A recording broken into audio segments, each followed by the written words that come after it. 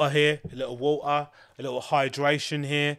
I remember once talking, not talking. I remember once seeing somebody that I follow on Twitter say something like, "Oh, um, I'm proud of myself for drinking water or something." I don't know some hot, some hot like club girl, and I was like, girls get away with murder in it because usually if you're a dude and you have options and that was something that we, you know didn't really resonate with you you just click unfollow and be like you know this girl's a flipping what kind of bum doesn't drink water do you know what i mean but because guys are simps myself included you just keep following anyway but i saw that i was like who doesn't drink water what are you drinking then I mean? I don't want to say what I'm thinking in my head, but you know what I'm thinking, right?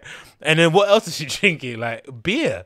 Like imagine a girl that doesn't drink water fair enough guys that don't drink water I don't, know how why you don't but just imagine how like unsophisticated and just pure barbaric just just, just imagine the levels of barbarism that ex, that kind of exist for a girl to not drink any water whatsoever. And it's like an achievement. She's like oh i pat myself in the back i did yoga i drank some water. What? So what are you drinking when you finish a workout? Or when you just like i don't know you know girls that you know they i don't know maybe not all girls go and work out but i'd imagine if you got a little sweat on I just don't know what they drink. I'm just trying to think in my head. Is a girl going to go buy a bottle of Coke?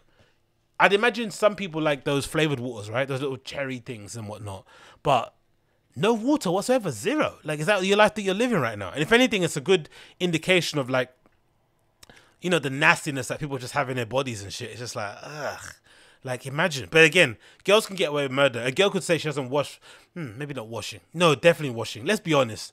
There's a guy. There's there's there'll be a queue of dudes willing to like, you know, smash a girl if she says she didn't wash for a week. Hundred percent sure. Guys are gross that way um, in that in that way, and that they have no standards really. You know I mean? The standard is like, do you like me, and will you like me, and will you let me touch your boobs? That's a guy's standard. Can can I touch your boobs? And if they say yes, you're like, okay, cool. You'll pop with just about anything. You know, I mean, humiliation, um, lack of respect, like every anything you would put up with it.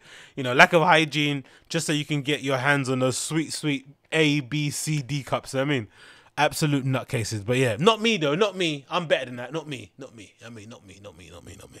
But anyway, let's jump on into it. No stuff to get into.